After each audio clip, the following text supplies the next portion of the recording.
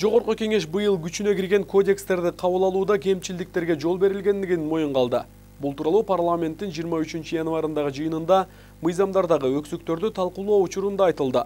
Биринчи январдан тартып күчүнө кирген кыргызстандагы укуктук мамилелерди тескеген беш кодекс менен эки мыйзамдын маселеси жыл башынан бери эле кызуу буга чейин депутаттар учурда улам бир өксүгү чыгып жаткан мыйзамдардагы кемчилдиктер үчүн аны иштеп чыккан эксперттик топту жарандар арасында жетиштүү түшүндүрүү иштерин жүргүзгөн эмес деп өкмөттү айыптап жатышкан.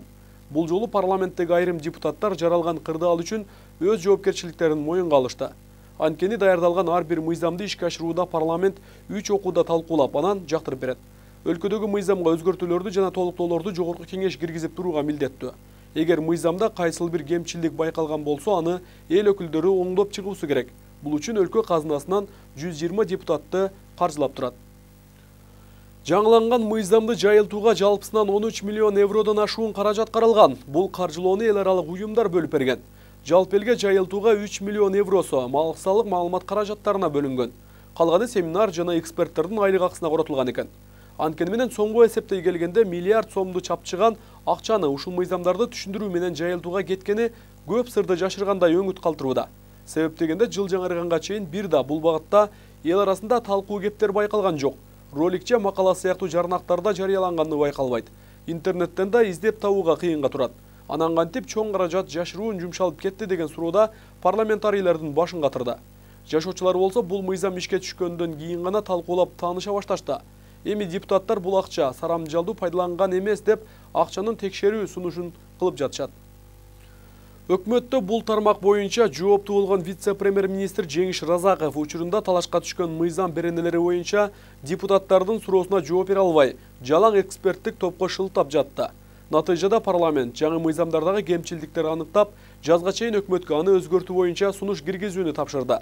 Кыргызстанда биринчи январдан тартып жаңы кылмыш жаза кодекси жазык процессуалдык кодекс жазык аткаруу кодекси жоруктар тууралуу кодекс жана тартип бузуу жөнүндө кодекс күчүнө кирген бул бир топ саясатчылардын күлкүсүн келтирген анткени бири бирине карама каршы келген жагдайлар жаралып өкмөттүн өзүн иштетүүгө мүмкүндүк бербей жаткан кечээ адахан мадумаров да биздин каналга бул багытта пикирин билдирип азыркы парламенттин мыйзам жазууга жарабаган депутаттарын сынга алды. Толугураак кийинки материалда кеп болот. Вице премьер министр жеңиш разаковдун маалыматына караганда элди дүрбөлөңгө салган жаңы кодекстер менен мыйзамдарды иш жүзүнө ашыруу үчүн евро биримдик тарабынан он үч миллион алты жүз миң евро бөлүнгөн айтымдарында бул каражат жумушчу топтун айлыктарына семинарларга тегерек столдорго жумшалган он миллион евро мыйзамдын улуктугу боюнча иш чараларды каржылоого үч миллион евро жалпы маалымат каражаттарын өнүктүрүү боюнча иш чаралардын каржылоого жана беш жүз миң евро коррупцияга каршы иштерди каржылоого каралган мыйзамдарга киргизилген түзөтүүлөрдү массалык маалымат каражаттары аркылуу коомчулукка жарыялоо үч миллион еврону чапчыган маалымат жана массалык коммуникациялар департаментинин директору бактыгүл норузбаеванын пикиринде министрликке караган бир дагы гезит телеканалдар жогорудагы гранттык акчаны пайдаланышкан эмес. Көп эле каражаттар мамлекеттик каражаттар бизден департамент аркылуу өтүлөт. Бирок бизде бул үч миллион евро деген өтө көп акча.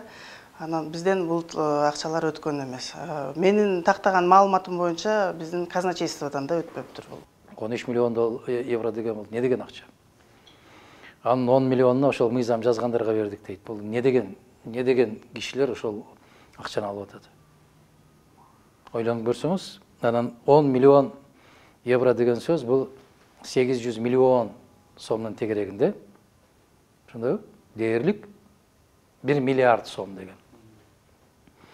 Бир миллиард сом коротуп жазган мыйзамдардын кебетеси ал беш күн иштебей атып чыр маскарасы чыккан бийлик болду да мына ошол жазган мыйзамдардын баары сабатсыз ката аябагандай көп дал келбестик мына эми аларды түзөтүш үчүн канча дагы акча керек аларга а үч миллион сомду элге түшүндүрүү үчүн бөлгөнбүз дейт үч миллион деген бул эки жүз кырк миллион сом деген сөз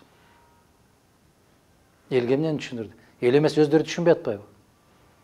Кабыл алыш алып алып туруп анан кыйкырып атпайбы? Эмне деген мыйзам кабыл алып койдук биз. Чекис генерал артур медетбеков бул каражаттан сырткары да сот реформасы үчүн юсаид уюму алты бүтүн ондон беш миллион доллар бергендигин маалымдайт. Берилген гранттык акчаларды алгач өзүлөрүнүн өкүлдөрү жесе калганын бул жактагы чиновниктер аймап койгондугун белгилейт.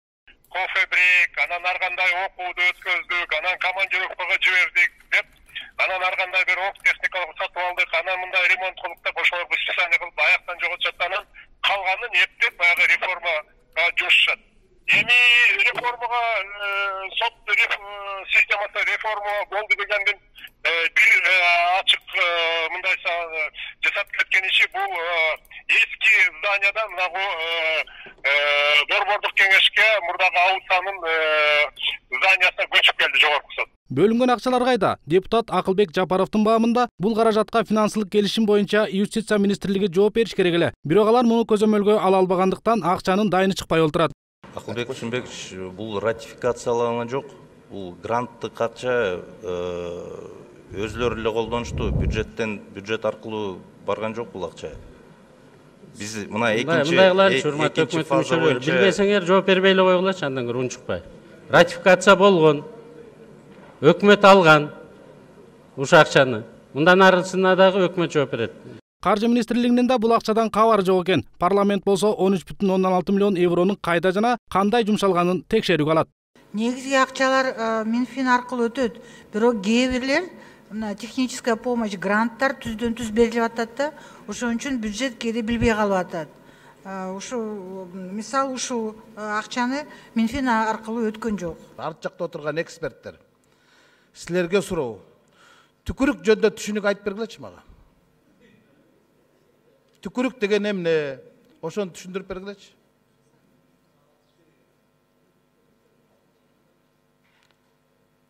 жаңы жарышып чыгып атпадыңар беле микрофонго эмне болду түшүнгөн жоксуңарбы мына көрдүңөрбү түкүрүк дегенди түшүнмөгөн өзү түркөйлүк түркөй деген сөздү юдахиндин сөздүгүнүн ичинен тапкыла мына ушуга окшогон эксперттердин айынан батыштын акчасын алып отуруп биз гранттар менен айыл чарбасын талкууладык билим берүү системасын талкууладык медицина тармагын талкууладык дагы ушул эми укук коргоо сот тармагын талкуулайын деп атабыз да алган эксперттер кыйналган карапайым эл анан аткарган өкмөт зыянын көрүп атабыз да биз а он үч миллион еврону кайда кеткенин эч ким билбейт мыйзамдарды жазуу үчүн он үч бүтүн ондон алты миллион евро бөлүнүп берилди дегендин өзү уят нерсе дейт экс депутат адахан мадумаров айтымында алар мыйзам жазган үчүн ошол жерден айлык алат бул өтө уят маселе. Бул өтө кошуна мамлекеттерге дагы күлкү болгон маселе. Кыргыздар мыйзам жаздырыш үчүн башка бирөөлөрдөн акча алат экен деп. Өздөрү мыйзам жаза турган азаматтар калбай калдыбы жогорку кеңеште. Өкмөттө жогорку кеңеште бийликте тартип болуп анан коомдон тартипти сураш керек. Өздөрү ушундай болуп чак челекей болуп балчыкка батып алып элден тартипти кантип сурайт?